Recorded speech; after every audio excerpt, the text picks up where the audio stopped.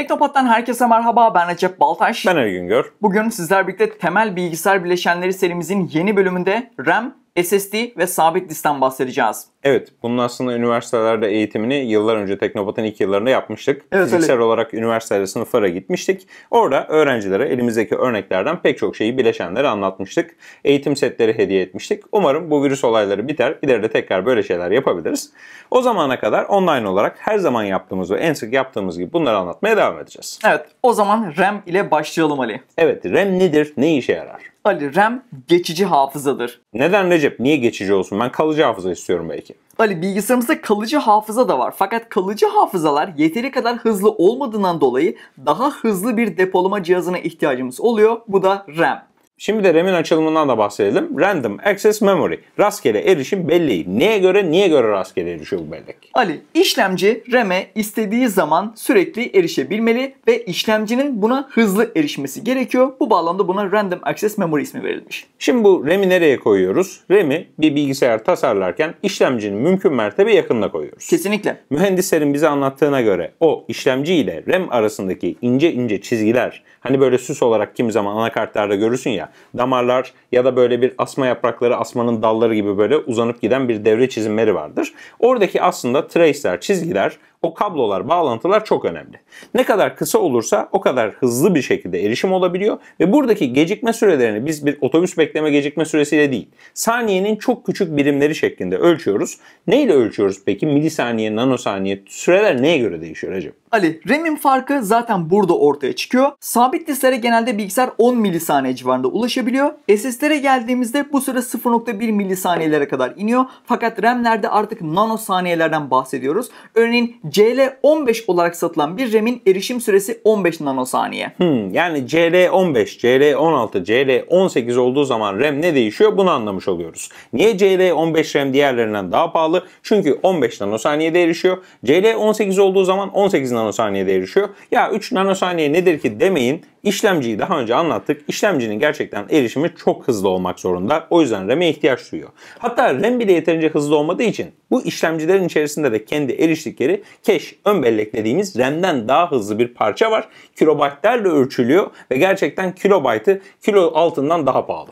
Kesinlikle Ali. İşlemcinin içerisindeki geçici depolamanın da hatta seviyeleri var. L1, L2 ve L3 olarak. Bunların toplamı artık modern işlemcilerde 90 MB gibi seviyelere ulaştı. Fakat bunu işlemcinin içerisine koymak maliyetli olduğundan dolayı halen daha işlemcinin içerisine 8 GB ya da 16 GB RAM koyamıyoruz. Bunu bilgisayarımıza harici olarak takmak zorundayız. Peki Recep RAM niye bu kadar pahalı? Şimdi kullanıcılara tavsiye ediyoruz. Diyoruz ki 8 GB RAM ile bu sistemi toplamayın. Yine de gidip 8 GB RAM ile toplamak zorunda kalan kullanıcı oluyor bütçesi yetmediği için. Diyoruz ki 2020 yılındayız. Yani 2019'da da diyorduk ama 2020'de bunu pek güncellemedik. 16 GB en azından RAM'iniz olsun. Diyoruz ki bir de yanına DDR4, yeni DDR4 sistem olun. DDR3 sistemleri artık e, toplamayın. Eski bileşenleri almayın. Hatta DDR2 sistem satanlar var. DDR1 sistem satanlar var internet üzerinde. Bunların anlamı ne? Bu kadar teknik terimi niye söylüyoruz? Yani DDR olsa ne oluyor, olmasa ne oluyor? Ali, üretimi maliyetli ileri teknoloji bir ürün. Yani baktığın zaman RAM'e saniyede 50 GB veri yazılıp 50 GB veri okunabiliyor. Bu hızlara ulaşmak için çok yüksek hızlı yongalar üretmek gerekiyor ve bu da maliyetli. Yine şöyle bir nokta var. Bilgisayarda sık arıza veren bileşenlerden bir tanesi RAM. Evet. Yani RAM'i üretmek zor bir süreç. Evet RAM halen arıza veriyor. RAM bize en çok sinir eden bileşenlerden bir tanesi. RAM arızaları şu an Teknopat Sosyal'de karşılaştığımız arızaların büyük bir bölümünü oluşturuyor. Bir tane RAM alıyorsun. Yanına aynı frekansta, aynı hızda, aynı teknolojide ikinci RAM'i takıyorsun çalışmıyor. Üstüne üstlük sistem çöküyor, hata veriyor, kafan karışıyor, seni deli ediyor. Yani aslında en çok problem çıkartan bileşenlerden bir tanesi, üstüne üstlük en çok para tutan bileşenlerden bir tanesi ve olmazsa olmaz. Hani RAM'i değiştirilemeyen bir laptopun şimdi 2 GB, 4 GB RAM'i var.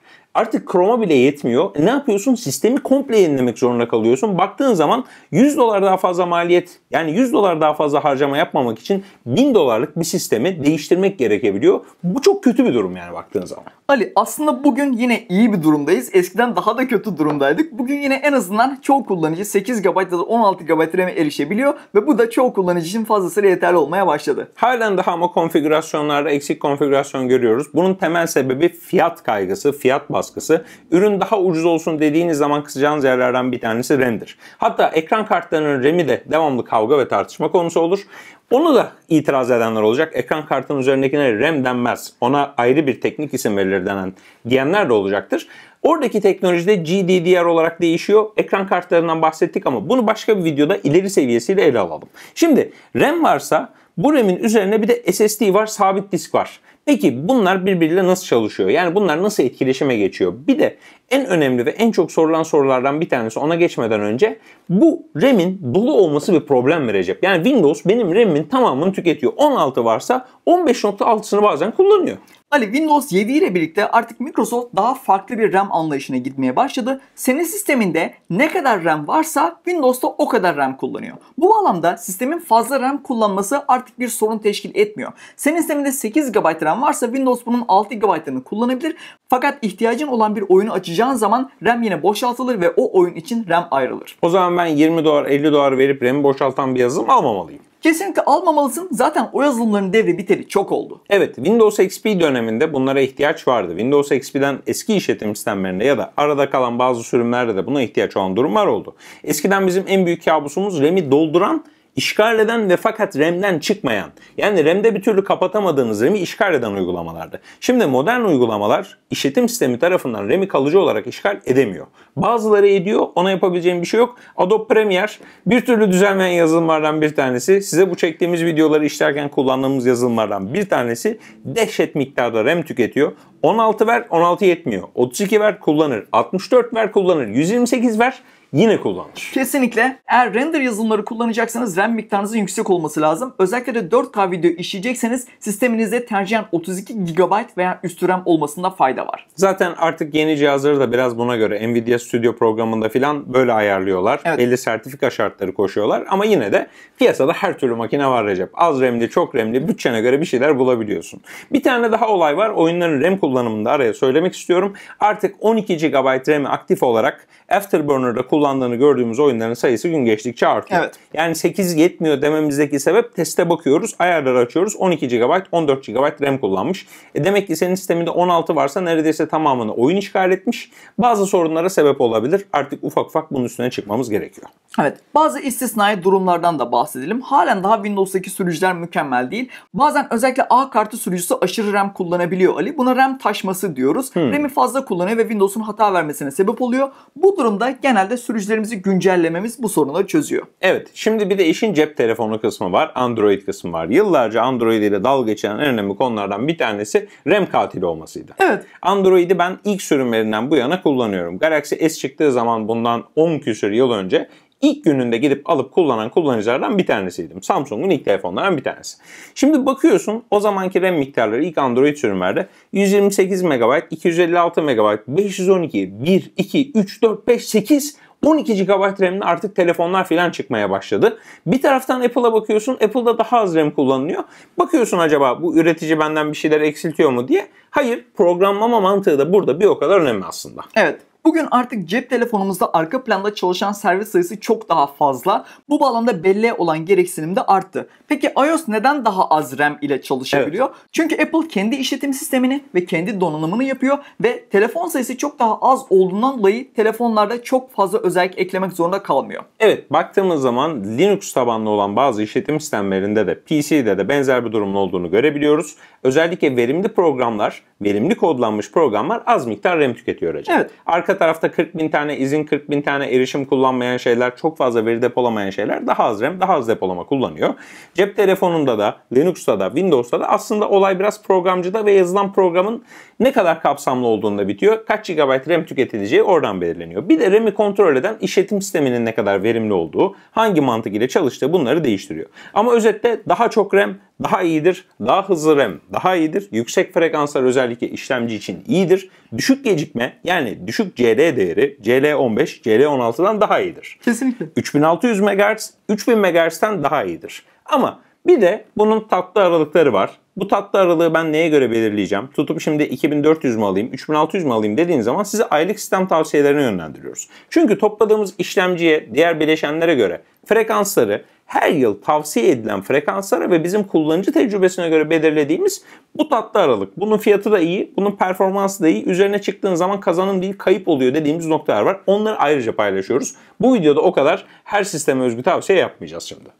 Şimdi Ali depolama ile RAM arasındaki ilişkiyi sormuşum. Biraz da ondan bahsedelim. Bilgisayarımız açılır açılmaz sabit distten veya SSD'den verileri okumaya başlıyor. Sık kullanacağımız veriler RAM'e aktarılıyor ki hızlı çalışsın, bilgisayar tepkisel olsun. Yani başlat menüsüne tıkladığın zaman oranın hemen açılmasını Evet. istersin. Eğer başlat menüsünün bütün bileşenleri sabit distten açılıyor olsaydı Bekle. başlat menüsüne tıkladıktan sonra bir süre beklemen gerekirdi. Evet o mikro beklemeler kullanıcının yavaş hissetmesine sebep oluyor. Yani ben bir şeye tıkladığım zaman beklememem gerekiyor. Gittikçe daha sabırsız, daha aceleci, daha hızlı bir çağa doğru gidiyoruz. Kimsenin trafik sıkışıklığına, internet yavaşlığına ve bilgisayar yavaşlığına aslında tahammülü yok Recep. Evet işte bu yüzden SSD teknolojisi hayatımıza girdi ve yavaş sabit disklerden kurtuluyoruz artık. Şimdi sabit disk ya da depolamanın temel rolünü bir anlatalım önce. Bu sabit diskler ya da diskler sistemde niye olmak zorunda? Sadece işlemci ve RAM ile bir sistem çalışamaz mı? Ali çalışabilir. USB belleğe verilerini koyarsın. Bilgisayarını USB bellekten açarsın. istediğin işlemi yaparsın. Kapattıktan sonra da bilgilerini USB belleğinde eğer yer varsa oraya kaydedersin ama yer yoksa bütün verini kaybedersin. Evet şimdi RAM ile ilgili en önemli konuya geldik. Laptop RAM'ini elimde örnek olarak tutuyorum. Bu RAM'in içerisindeki veriler sistem kapatıldığı zaman siliniyor.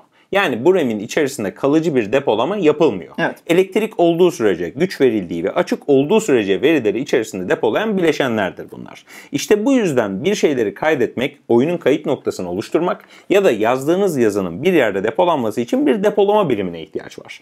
Benzeri şekilde bu dosyaların kalıcı depolanması için kullanılan cihazlara sabit disk, SSD ya da genel anlamda disk deyip geçiyoruz. Çünkü bir zamanlarda bantlı sistemler hatta farklı sistemler vardı. Kesinlikle eğer geçmişe gidersek delikli kartlara kadar gideriz. Ama madem 2020'de video çekiyoruz güncel bir teknolojiden de bahsedelim. İçerisindeki veriler silinmeyen yeni nesil RAM'ler geliyor. Evet, içindeki veriler silinmediği zaman hem çok hızlı hem de verileri kalıcı olarak tutabilen bir bellekte elde ediyoruz. Şimdi yorumlarda itiraz edecek olanlar şimdi nihayet o konuya da geldiğimiz için memnun olmuşlardır diyorum. Buna hemen geçmeme sebebimiz hem teknolojinin gelişiyor olması hem de maliyet olarak özetleyebiliriz. Yoksa bak burada ara bir çözüm de var. Sabit diskleri hızlandırmak için RAM ve sabit disk arasına girecek 32 GB'lık Intel Optane Memory teknolojisi de var. Evet, ön bellek SSD bir nevi ön bellek olarak kullanmak için çıkmış bir teknolojiydi. Fakat SSD kapasitesinin artmasıyla birlikte çok da gerek kalmadı. Yani bu çok umutlar beslediğimiz ama çıkışının biraz geç kaldığını düşündüğümüz, kullanmak için pek çok şart olan, tam olarak istediğimizi veremeyen bir teknoloji. Kesinlikle. Halen potansiyeli olduğunu düşünüyorum fakat bu konuya çok fazla Optane konusuna saplanıp kalmayacağım. Ara çözümler ya da farklı çözümler yıllardır geliştirilmeye çalışılıyor. Bir tane ürün var elimizde, yüksek depolama sunuyor. Maliyeti de çok iyi, fiyatı da çok iyi ama yavaş kalıyor. Bir tane ürün var elimizde çok pahalı ve çok hızlı ama işte kapasitesi düşük. Ne yapıyoruz? Bunları bir araya bağladığımız çözümler var. Kurumsal hayatta mesela Recep yazılımlar var. Yazılım özellikle geçtiğimiz günlerde katıldığım bir etkinlikte vardı. Böyle Fujitsu'nun yazılımı. Evet. Özellikle sunucu sistemleri bellekleri yapay zeka ile kullanıyor. Depolamadaki verileri hızlı olan kısma ya da yavaş olan kısma kullanıp kullanmayacağını önceden tahmin ederek aktararak sistemi hızlandırmaya çalışıyor. Yani gittiğimiz noktada artık fiyat performansı yönetmek için yapay zeka kullanmaya doğru geçtik. Çok fantastik teknolojiler geliyor. Biz yine işin son kullanıcı kısmına dönelim o yüzden. Evet, depolama diyorduk Ali. Sabit disk teknolojisini yavaş yavaş terk ediyoruz. Artık SSD'ye geçiyoruz. Sabit diskten de yine kısaca biraz bahsetmek istiyorum Ali. Şu plakalı cihazı alabilirsek sabit diskin içerisinde bir tane motor var. Tam burada ortada. Bu motor plakaları döndürüyor ve verilerimiz plakalara manyetik olarak kaydediliyor. Burada bir tane okuma yazma kafamız var ve bu okuma yazma kafası hareket ederek diskten veri okuyor. Fakat okuma yazma kafası mekanik olarak yani fiziksel olarak hareket ettiğinden dolayı ortaya bir yavaşlık çıkıyor. Evet. Sen plakanın ucundaki veriye ulaşmak istediğin zaman okuma yazma kafası uca gitmek zorunda. Bu da bir zaman kaybı. Evet peki veriler nasıl yazıyor derseniz buradaki metal disklerin ya da farklı kimyasal yapıdaki disklerin üzerinde elektromanyetik sinyal olarak ya da 1-0 olarak yazılıyor diyebiliriz kabaca. Oradaki elektrik sinyalinin yüklü olup olmaması ya da yük durumuna göre biz veriyi farklı şekillerde, fantastik şekillerde depolayabiliyoruz. Yani düşün şimdi e, Dede Korkut zamanındaki ya da eski zamanlardaki taşa kazılı anıtlar ya da bunların üzerindeki verilerden ya da Anadolu'da bulacağımız çivi yazılarından o çizgilerden geldiğimiz nokta buradaki diskerin üzerine gözle görülemeyen sadece elektronik bir araç tarafından okunabilen manyetik işaretler koymak. Evet. Ve bu işaretler kalıcı. Bunun üzerindeki yükler yer değiştirmiyor. Bu verileri yine manyetik olarak silip tekrar yazabiliyoruz. Yazma ve okuma teknolojileri gerçekten çok engin bir dünya. Bunun 40 bin tane farklı yolu var. Her geçen gün değişik teknolojiler gelişmeye devam ediyor. Hani o manyetik bantlardan bugüne sabit diskere aslında çok büyük bir yol kat ettik. Ama sonra sabit disker kesmediği zaman karşımıza bu SSD teknolojileri çıktı. Evet, sabit disk yaklaşık 50 yıllık bir teknoloji. SSD ise daha yeni yeni hayatımıza girmeye başladı. SSD'ler bize çok daha yüksek hızlar sunuyor. İçerisinde herhangi bir mekanik parça yok. Tamamen elektronik olarak çalışıyor ve videonun başında da bahsettiğimiz gibi bize 0.1 milisaniye hızında erişim hızı sunuyor. Yine burada gördüğünüz parçalara benzer içerisinde bellek modülleri var. Ama bunların tabi teknolojileri ve hızları ve kontrolcüleri daha yavaş. Aslında RAM'e benzer bir yapıda olduğunu çok kabaca işi basitleştirmek için söyleyebiliriz. Farkı şu, buradakinden daha düşük maliyetli, daha yavaş gecikme süresi daha yüksek olan bir depolama var. Ama yine sabit diske kıyasladığınız zaman uzay çağı gibi kalıyor. Hatta belki de bugünün SSD'lerinin teknik değerlerini 10 yıl 20 yıl öncesinin RAM'leriyle karşılaştırırsak eski bir DDR1 bellek ile teknik karşılaştırma yaparsak bazıları daha hızlı olabiliyor diyebiliriz. Kesinlikle öyle. SSD'ler de epey hızlandı. Bu bağlamda SSD teknolojisinin kendi içine de biraz girecek olursak mevcut piyasada hem SATA örneğin bu eski sabit disk ara birimini kullanan SSD'ler var hem de yeni nesil NVMe SSD'ler var. Bunlar PCI Express ara birimini kullanıyor. Yani ekran kartımızın kullandığı aynı ara birimini kullanıyor diyebiliriz Ali. Bu ara birimler niye önemli? Şöyle düşünün. Bir tanesi muhteşem asfalta sahip bir otoyol. Bir tanesi de Elon Musk'ın yaptığı vakumlu bir tüpün içerisinde sürtünme olmadan giren bir tren ya da Japonların kurşun trenleri.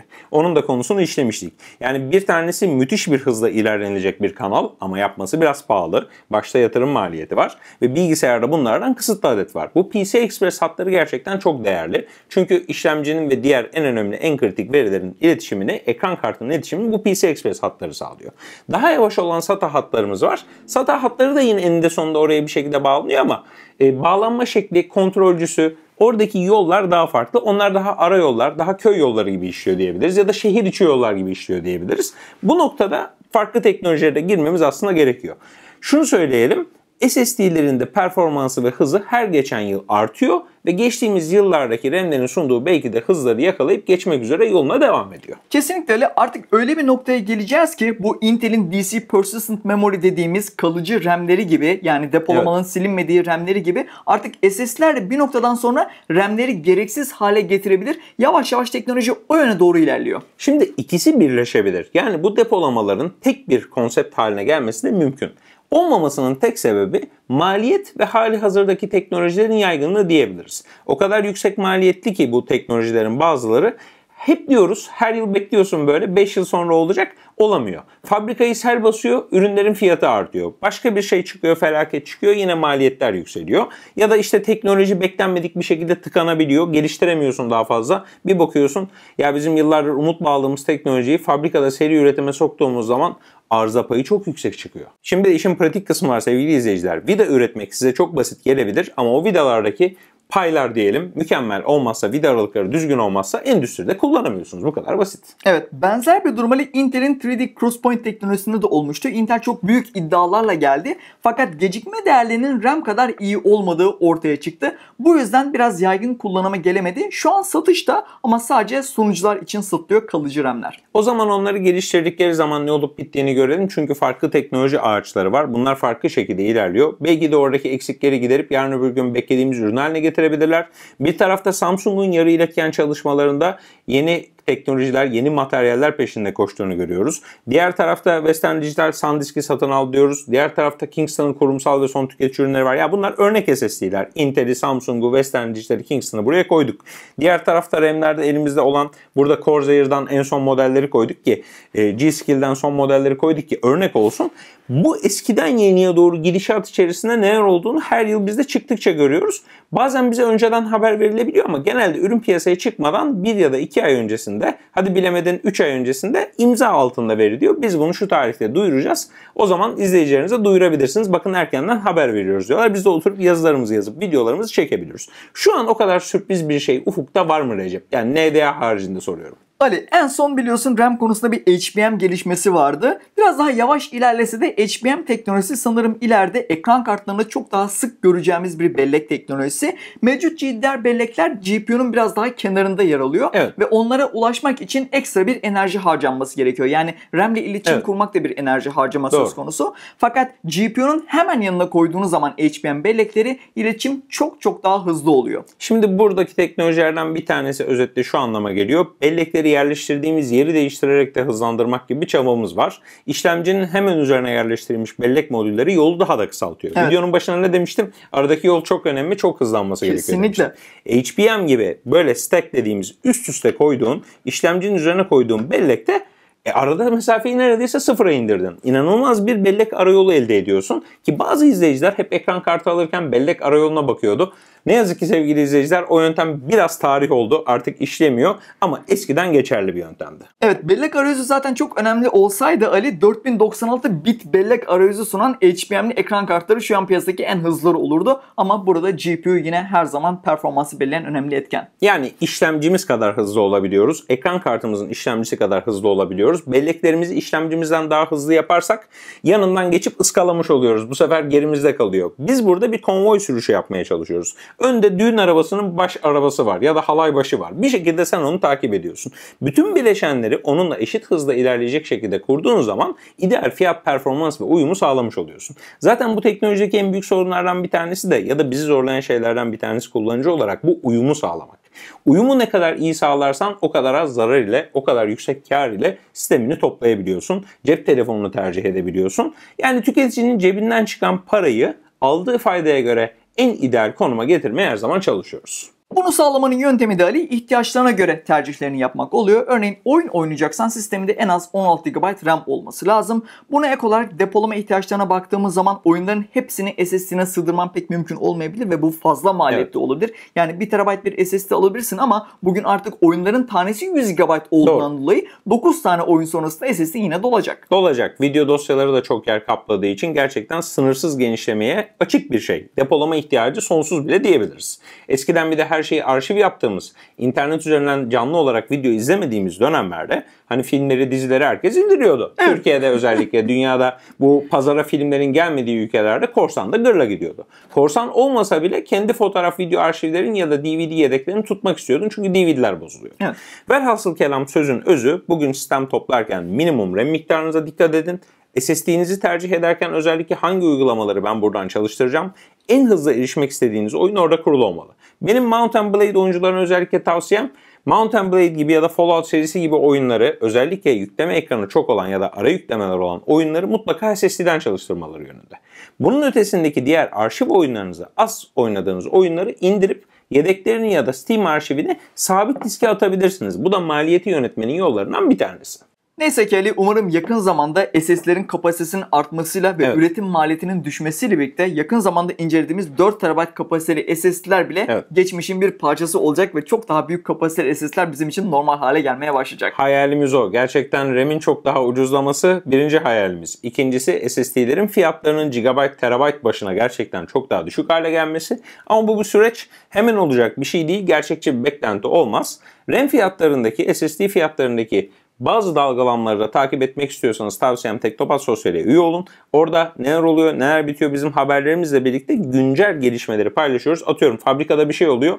Ya fiyatlar yükselebilir arkadaşlar şeklinde bir tahminde bulunuyoruz. Ama tabii ki bunlar yatırım tavsiyesi değildir. yani RAM SSD yatırım yaparken değildir. Son kullanıcı olarak bizim alırken zarara uğramamak için kendimizi kollamaya çalışmamızdır. Size de aynı bilgileri paylaşmaya çalışmamızdır. Evet bugün de sizlerle güzel bilgiler paylaştığımıza inanıyoruz. SSD, RAM ve sabit disklerden bahsettik. Bir başka videoda hangi bileşenden bahsedelim lütfen yorumlar altında bize belirtin. Bir başka videoda görüşmek üzere. Ben Recep Baltaş. Ben Ali Güngör. Kendinize iyi bakın. Hoşçakalın.